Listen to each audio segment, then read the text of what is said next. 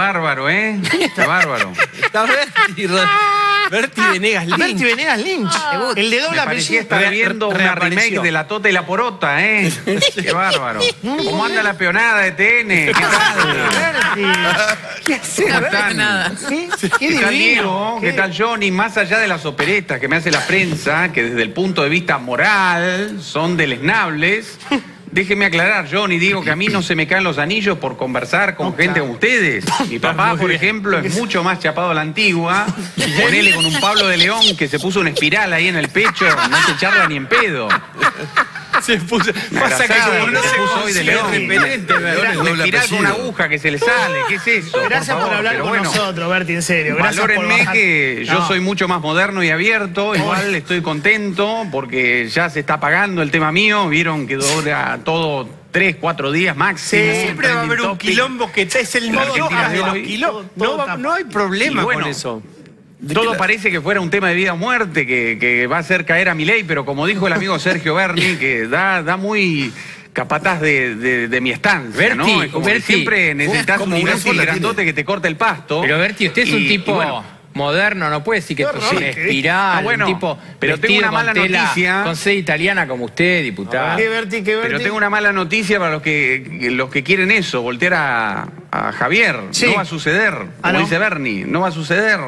Por suerte ya vino la ex compañerita de ustedes, Marcela Pagano, me llegó la marca.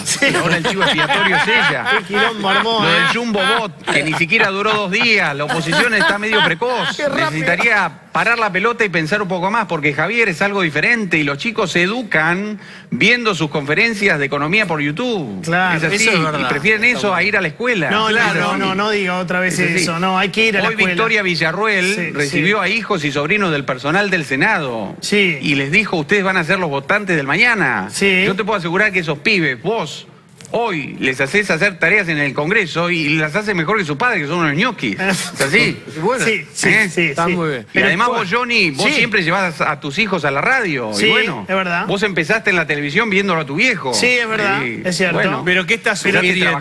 Que, que- que no van al colegio. tampoco fue al colegio los hijos. Pero yo iba a la escuela y mis hijos van a la escuela. Eso no. bueno, eso no, pero amigo. está bien, un día pueden faltar y estar ahí en el canal y aprenden, aprenden de las cosas y de que paso dan una ¿eh? mano a la familia, eso falta decir. Eso es lo Es así, importante. esto es una pyme. Eh, Vos tenés que sostener todo eso. Gracias, Eh. Tamica ahí con todo, da- no da basto. Un beso bueno, a Mica, tus un hijos beso tienen que aprender el negocio. Es así.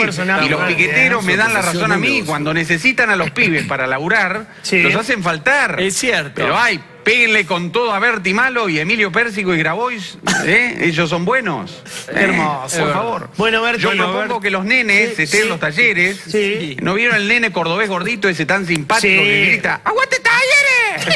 Ah, con él se enojan. ¿Qué tiene están que ver? ese pibe, está, está, está haciendo todos los Está videos. feliz de estar en talleres. Por Está favor. muy bien. Y hay un adulto que está facturando a- atrás de, de ese nene. Bueno, Y denúncienlo. no lo adoctrinan. Y no va a la escuela y se salva del adoctrinamiento. Es así. Gracias, Abracemos las ideas de la libertad económica, porque si no vamos a depender de que un morgado nos traiga un iPhone envuelto en dos toallas. ¿Eh? Le echó la genio. culpa a la mujer. Bueno. Ahora, bueno. Berti, gracias. Chao, Berti, un abrazo. Qué bárbaro. No, no, este pibe es fenomenal, ¿eh?